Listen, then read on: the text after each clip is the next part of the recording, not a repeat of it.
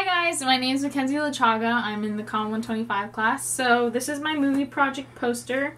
Um, as you can see, um, I feathered in this T-Rex image and it was really challenging but super worth it because um, yeah, there's a T-Rex invasion in my movie. So yeah, and then I just edited this photo on Lightroom and put everything together and I'm really happy with it. So yeah, thanks for watching. Enjoy!